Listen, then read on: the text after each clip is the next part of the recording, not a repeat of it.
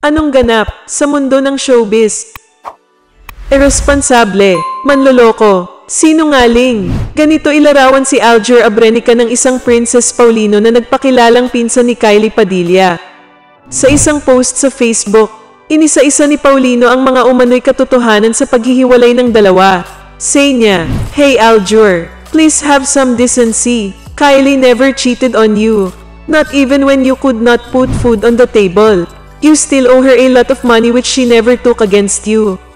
You cheated on her multiple times. And we all know that. Stop your lies. It is not her fault why you have a lot of bashers. It was your choice to flaunt your new girlfriend in public, not hers. Despite the truth that you were an irresponsible husband who broke Kylie's heart many times. She never went public to say anything against you. When Tito Robin spoke about your cheating, Kylie did not know about it. She even felt bad. Save some respect for yourself.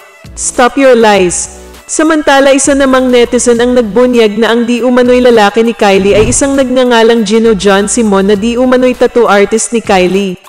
Na siya umanong dahilan ng kanilang hiwalayan ni Aljur. Nagpost ito ng picture ni Simon at sinasabing, para hindi na kayo mahirapan. Ito na yung nalilink kay Kylie Padilla na owner ng V-Mana Tattoo. Si Gino John Simon. Na-issue na din to dati ng bugbog ng Grab driver. Tignan niyo sa ABS-CBN sa YT. At kinumpirma naman ito ng isa pang netizen. Anong masasabi mo sa balitang ito?